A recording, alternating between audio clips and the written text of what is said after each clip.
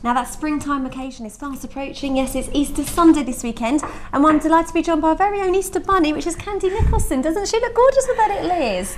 I, I, tell you, what can I say? I'm an Easter bunny. You are an Easter bunny. You're the best Easter bunny, Candy. And what does the Easter bunny do? He brings lots of presents on Easter Sunday, and that's what you're going to do for us today, isn't it? Yes, I decided that we'd do an origami basket. Okay And I thought, obviously, we have the traditional little mini eggs and chocolates yeah. and that sort of thing. But we've got a bit of a twist, a bit of an Asian twist But today, we have, we? yes. Um, kindly, uh, Liziza in Longsight have kindly donated some sweets for us. Fabulous. You can see the big sweets here. Yeah. But we've put them into these little boxes here, little little baskets, I should say. Yeah. So you can fill them with your traditional sort of mini eggs or chocolate right, eggs yeah. or little gifts. But also you've got the, the Asian sweets there, and they're strong enough to hold them because the, they are. the Asian sweets tend to be a bit, bit heavier, a bit denser. Yeah. But these baskets, they're quite you know, resilient, aren't yeah, they? They are they're really well made and there's there's basically no glue or anything to them. They're, wow. they're really good. They were really fun to make. Well, can we get through yes, to making them? Yes. Because they're fun. That's what I want to get involved right. with. Right. Um, we can do it a couple of ways. I'll show you with a piece of A4 paper. Okay.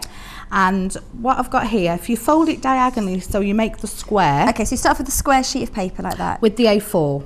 Is that standard that's paper? standard size. Enforced cardboard or? No, that's just a standard sheet of paper. Right, okay. Yeah. What I was looking for really was double-sided paper right. because where you can see the, the white. on both yeah. sides, yeah. Um, but with the white and the, the pattern paper with the contrast, it looked really nice. Yes.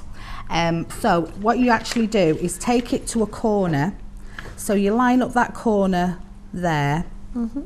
and obviously really nice neat edge and then you'd cut that piece off. Fabulous. And, that and that's how you, you achieve a square. Yeah. Don't throw that away. That's really that. good because creating a square, I always think you have to get the ruler out and try around, but that's yeah. a fantastic tip just to do it so much more easier. And I've not even used scissors, I've just really carefully torn it. Okay. Okay, so take this bit and we folded it in half diagonally and then we're going to fold it again to here and I've not got my glasses on so you'll have to if I've got slightly blurred edges today. Did the glasses clash with the bunny ears? It yes, it wasn't other, yeah it wasn't a good I think look. we made the right choice with these bunny ears didn't we? So then what we're going to do is open this up and join that point there.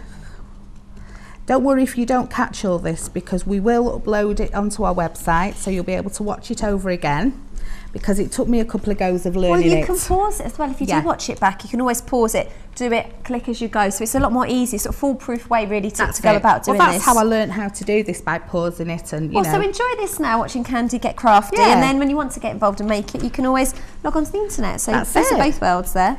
And then we'll do the same on this corner. Yeah. So again, we'll line that down there. And then we're going to do the same with this bit. And this is the only sort of fiddly bit really. Um, just to get that corner and line it up to there. Try and be as accurate as you can with your folds because it will make it neater. And I love afterwards. your fabulous nails, Candy. They're great for Easter, aren't they? They are nice and nice and baby pink this time. Yeah. Okay, so what we've got here is a smaller square. Now, I've noticed we need to have it that way and I'll show you how you know which way you need it. Okay. When you turn that bit back, you've got the two points like that. like a lotus flower, the way yes. that opens up, isn't it? So as long as you've got it like that, you're fine to continue, mm -hmm. okay? So then what we're going to do is fold this back here, right down to the edge, and run your finger along there. Mm -hmm. Then turn it over, and we're going to do the same again. Fabulous. Okay. And you know we were saying what double-sided paper ideally, and obviously that is great, but if you can't and you can only find it one side, white's a sort of colour that goes with everything. Easter is all about being fresh yeah. and things like that, and it complements that really well yeah. actually. And some of the papers I've used where they were, you know, pink and white yeah. or green and white. Bring it into the, the white scheme. Works great yeah, with it exactly. anyway. Yeah. Right, get the other piece. This is how we're going to make the so handle. So don't discard that. No. I would have thrown that away. Right, right. okay. Oh no, crafters don't throw anything, so I keep being told. they but don't do. indeed. Otherwise, I'd be living in a paper mountain. so we're going to fold that in half, and then we're going to open it out and then fold each bit into the middle. So even where we had that little rough edge where I'd torn it, mm -hmm. that'll be hidden because we're going to fold that bit into there and then fold There we go, making noises on the cutting mat. And that's reinforced there, so it's going to have yeah. a bit, it's going to be a lot firmer, a bit stronger if you're going to be lifting that's things it. with it. What I would do with it is run it through your fingers a bit, just to shape it slightly to give it a bit of a bend, because this is going to be a handle. Okay. So just work your paper a little bit first. Lovely. Okay. Now what we're going to do is pop that on there, mm -hmm. about, I'd say, say two thirds of the way down.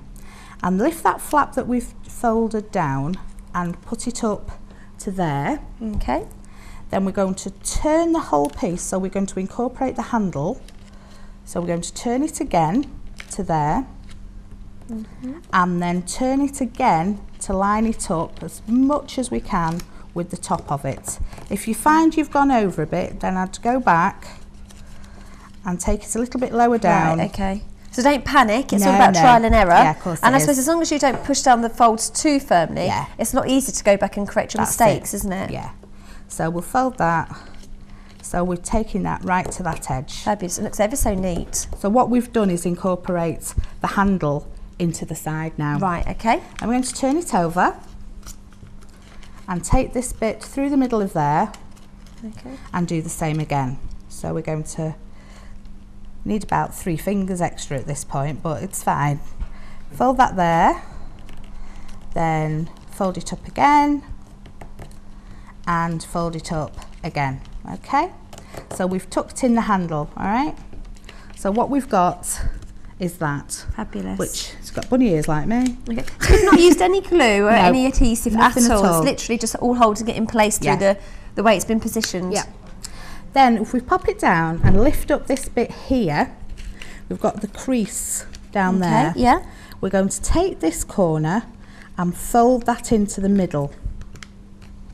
And we're going to do that with each each piece. Okay, we're actually running out of time a little right. bit here, Candy. So okay. just have a look at the things that you use. Yeah, no problem. Well, I'm doing.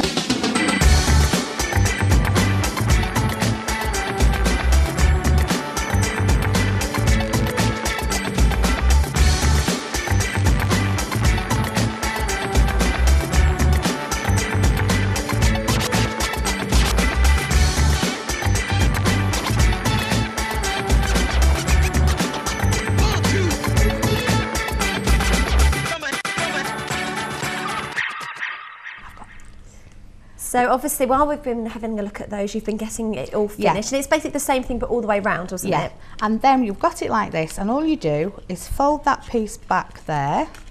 Yeah. This is where the magic comes. Turn it round, fold that piece there, and then just open it out. And Fabulous. all is revealed. Smooth it out that way. And there's your basket. Oh, brilliant. And you can oh, fill it oh, with sweet. whatever you want, can't you? Like you said, you've got Uh, the traditional sort of Asian sweets. We've got British sweets. We've got absolutely anything. Yeah. Or for some other little, little gift presents, ideas. Yeah, jewellery, anything. And can fill it with papers. oh, sorry, I've just completely window shut the gate. Just scrunch up these papers and yeah, fill it. Yeah, that's all I've done. Is and pop you've got some, some little. Let's do it really quickly. Ooh, there you are, and it gives it a nice bit Lovely. of colour as well, doesn't Lovely. it?